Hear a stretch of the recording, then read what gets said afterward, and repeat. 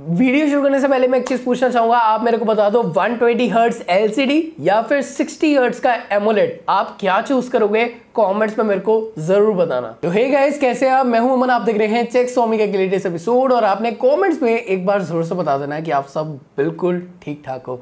तो यहाँ आज के जो अपडेट्स हैं आपके लिए काफ़ी इंपॉर्टेंट है। जैसे कि पोको X3 इसके बारे में सब कुछ आ गया है सामने। Realme का X7 Pro का एक स्पेशल एडिशन सामने आया है। एंड यस Realme Narzo के जो अगले 20 सीरीज़ के फ़ोन आने वाले हैं, उनके बारे में भी एक चीज़ पता चली है, जो कि बहुत इंपॉर्टेंट है। तो आप इनमें अगर इंटरेस्ट रखते हो तो पूरी वीडियो देखिए। वैसे मैं कहूँगा पूरी वीडियो देख लो, क्योंकि यार आने वाले ये जो फ़ोन्स हैं, वो काफ़ी इंपॉर्टेंट है एंड आपके लिए डेफिनेटली ये सारे अपडेट्स इंपॉर्टेंट निकल कर आते हैं।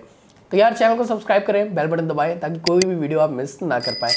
तो पोको X2 काफ़ी बढ़िया डिवाइस है बट इसका अब सक्सेसर आ रहा है पोको X3 तो यहाँ पे मैंने सब कुछ नोट कर रखा है अपने सामने।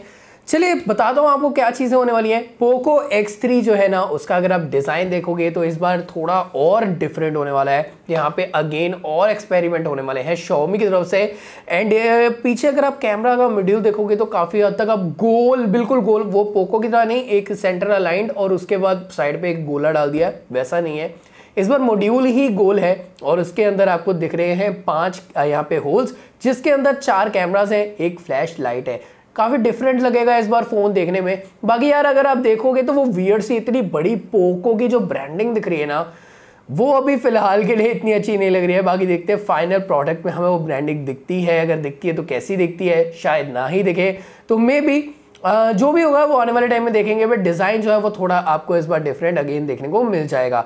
एंड यहाँ पर एक चीज़ और की मतलब जो फ्रंट का डिज़ाइन है, वो भी चेंज होने वाला है। पोको एक्सो में हम यहाँ पे डुअल पंच होल देखने को मिलते हैं। वहाँ पर हमें देखने को मिलने वाला है सेंटर पंच होल जो कि एक नई चीज़ हो जाएगी पोको के लिए। शॉमी के लिए नहीं, वो तो हम रेडमी नोट टेन प्रो में देख चुके हैं। तो यहाँ पे पोको सीरीज़ के लिए एक नई चीज़ होगी हमारे लिए। तो अगली बात करते हैं, यहाँ पे जो पता चली है वो है स्नैपड्रैगन 732 देखने को मिल सकता है इस फ़ोन के अंदर। तो पहले हमें स्नैपड्रैगन 730G देखने को मिला था। अब यहाँ पर आप दोनों में फ़र्क ये सोच सकते हो, जैसे कि स्नैपड्रैगन 710 और 712 में बढ़ा था। वैसे ही स्नैपड्रैगन 732 पे आने आकर हमें डिफरेंस देखने को मिलेगा। तो ज़्यादा रियल लाइफ यूसेज में इतना कोई फ़र्क देखने को नहीं मिलने वाला बट ऑन पेपर यहाँ पर एक नया प्रोसेसर हो जाएगा, जो कि हम कह सकते हैं कि अपग्रेड हो गया। तो यहाँ पे बाकी यार, इसकी जो बैटरी है वो काफ़ी बड़ी होने वाली है। 5160 सिक्सटी की बैटरी सामने आई है। 33 वॉट्स का चार्जर होने वाला है, जो कि ऑलरेडी हमें अब शोमी के फोन्स पर देखने को मिलने लगा है। और यहाँ पे अगर मैं बात करूँ कैमरास की तो 64 मेगापिक्सल का क्वाड कैमरा होगा पीछे। डेफिनेटली अल्ट्रा वाइड होगा। मे बी एक मैक्रो और डेप्थ दे दे। टेलीफोटो आई डोंट थिंक पता नहीं यार। अगर रियल मी सिक्स प्रो में आया तो इसमें भी आ सकता है, कोई बड़ी बात नहीं है। आ जाए तो ज़्यादा अच्छा है, क्योंकि टेलीफोटो लेंस थोड़े फंक्शनैलिटी दे देते हैं। तो यहाँ पर सामने जो सिंगल पंच होल है, उसके अंदर 20 मेगापिक्सल का सेल्फी कैमरा देखने को मिल जाता है। तो एक अच्छी चीज़ है, चलो, और 20 मेगापिक्सल भी हम फेमिलियर हो चुके हैं शॉमी के इस सेंसर के साथ। अब बात करते हैं डिस्प्ले यहाँ पे ना क्लियरली फ़ोटो में देखने को पता चल रहा है कि शायद इसमें साइड माउंटेड फिंगरप्रिंट स्कैनर हो सकता है। तो अगर ऐसा कुछ होता है इन केस तो मे बी इस बार आपको फिर से एमोलेट डिस्प्ले ना मिले। 120 हर्ट्ज देखने को मिल जाए, वो भी एलसीडी के साथ बट यहाँ में 240 हर्ट्ज का टच लेटेंसी यहाँ पे हो सकता है। तो ऐसी कुछ चीज़ें सामने आई हैं। बट अगर मैं बात करूँ, जैसे कि Realme 7 Pro जो है वो टीज कर मतलब सामने आ रहा है लीक हो रहा है कि यहाँ पे एमोलेड हो सकती है। तो मे बी पोको को यहाँ पे थोड़ा सा हाँ ये कह सकते हैं जिसको एमोलेड चाहिए तो वो फ़ोन जिसको हाइयर रिफ्रेश चाहिए तो पोको बट मैं यहाँ पे चाहूँगा कि एमोलेट डिस्प्ले हो तो ज़्यादा अच्छा है एमोलेट में ज़्यादा मज़ा आता है। तो ये है पोको एक्स थ्री बताओ यार, ये बीस हज़ार के नीचे आता है तो आप इसमें लेने में इंटरेस्टेड होंगे या फिर नहीं होंगे? अच्छा अच्छा अच्छा अच्छा एक चीज़ और, मॉम ने वीडियो डाल दी है एंड वो है मुगलई चिकन की। तो जो लोग नॉनवेज खाते हैं, उनको ये रेसिपी बहुत पसंद आएगी। तो नीचे मैंने दे रखा है उसका लिंक पिन कमेंट्स में भी और डिस्क्रिप्शन में भी। चेकआउट कर लेना। अच्छा मैं एक चीज़ और यहाँ पे बात करता हूँ, वो है यहाँ पे हमारा जो सेकंड चैनल है, जहाँ पे मैं एंटरटेनिंग वीडियो चल रहा हैं, जहाँ पे मैं आपको हंसाने की कोशिश कर रहा हूँ।